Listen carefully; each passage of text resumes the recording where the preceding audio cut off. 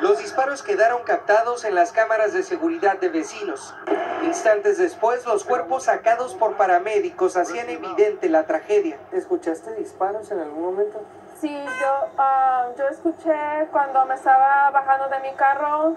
Yadira presenció los intentos por reanimar a las víctimas, aunque nada se pudo hacer. Es una niña, decían en este video, pero no era una, sino tres las que murieron a tiros por su propio padre, David Fidel Mora Rojas, de 39 años, quien se suicidó tras la masacre dentro de esta iglesia en Sacramento, California.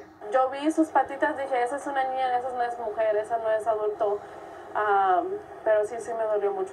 Las menores tenían 9, 10 y 13 años. a shot and then more shots. El departamento del alguacil confirmó que una persona que supervisaba el encuentro entre las menores y su padre también murió.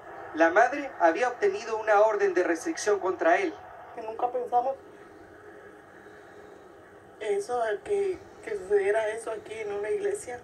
Este miembro de la iglesia, quien le abrió la puerta a los oficiales, no quiso dar detalles. Entendemos que todo el mundo ha sido afectado, todo el mundo quiere saber qué ha pasado, ah, pero vuelvo a repetir, no estoy en libertad de dar ninguna declaración. Los que sí se han dado la libertad de poner un altar para las víctimas son vecinos que se dicen devastados. No me gustaría pasar a ninguna madre por esa situación.